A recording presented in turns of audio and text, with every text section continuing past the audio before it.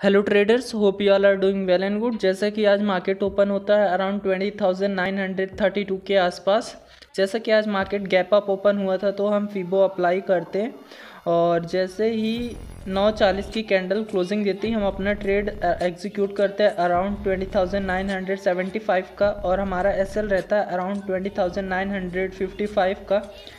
जिसमें ही जब ये लास्ट कैंडल ऊपर के साइड क्लोजिंग देती है दस बजे की कैंडल हम अपने ट्रेड को कॉस्ट टू कॉस्ट कर लेते, या तो हम अपना प्रॉफिट बुक कर लेते। तो इस ट्रेड में हमें या तो कॉस्ट टू कॉस्ट बाहर हो जाते इस ट्रेड से, या तो हमारा कुछ ना कुछ प्रॉफिट होता। उसके बाद सेकंड आप सेटअप देख सकते हैं, जैसा कि यहाँ पे आप देख सकते हैं, ये कप और ये उसका हैंडल और जैसे ही ये अराउंड बारह पैंतीस की कैंडल नीचे के साइड क्लोजिंग देती है, हम अपना ट्रेड एग्जीक्यूट कर सकते थे।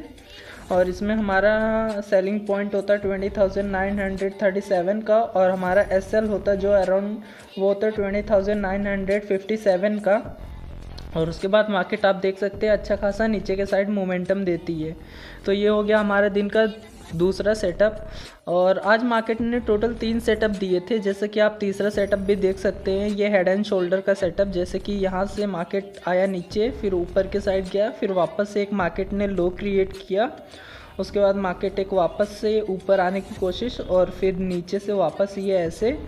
और फिर फाइनली दो चालीस की कैंडल ऊपर के साइड क्लोजिंग देती है और इस पॉइंट पे हम अपना ट्रेड एग्जीक्यूट कर सकते थे और जिस पे हमारा एस एल रहता around twenty thousand nine hundred twenty five का और फिर उसके बाद हमारा फ़र्स्ट टारगेट जो होता वो नेक्स्ट रेजिस्टेंस तक का होता जो कि रहता around twenty thousand nine hundred seventy seven का और मार्केट जैसे कि आप देख सकते हैं, इस टारगेट को अचीव कर लेती है और सेम पॉइंट पे क्लोजिंग भी देती है।